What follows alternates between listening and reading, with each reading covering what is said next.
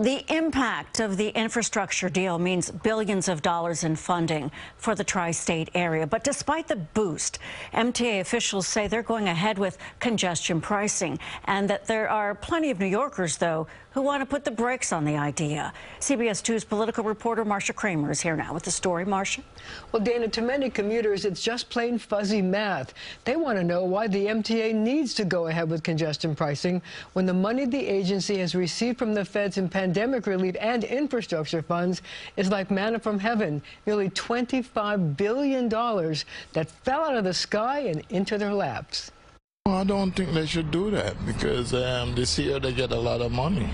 And last year they didn't have much stuff to worry about. They should have surplus. I don't think so. It's too much money as it is to go into New York City.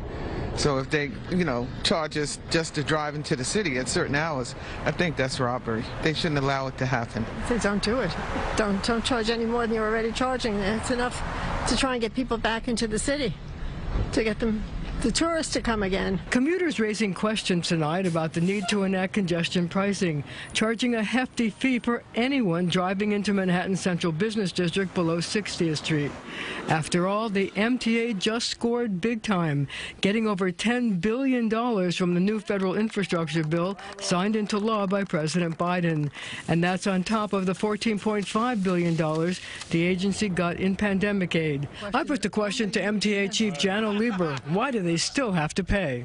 We need to be a model of climate change, not just for the world, but for ourselves. We need air quality to be good so kids don't get asthma. This is for us as much as it is for money for the MTA. You've been banding about the possibility of a fair of a congestion pricing fee of between 23 and 35 dollars. But why do you have to charge so much? Marcia, they, they, you have to look at the numbers. A very small percentage of people of New Yorkers actually drive to work in the Manhattan Central Business District, and it's disproportionately people who are better off.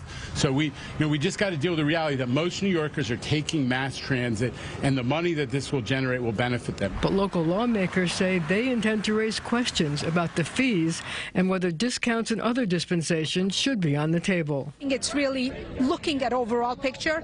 Let's see how much money we're getting, and let's see if we can actually reduce those numbers. It's a concern because you know I have a constituency that have to go into the city for you know healthcare reasons, and you know you know, I think there's conversation about you know discounts. We're pushing to make sure that it's accessible for those who are financially disincentivized.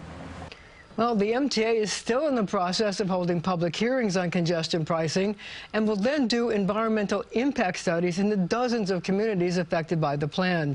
It's not expected to go into effect until well after next year's gubernatorial election. Dana. It's been a long time we've been talking about this, Marcia. A long time. Thank you.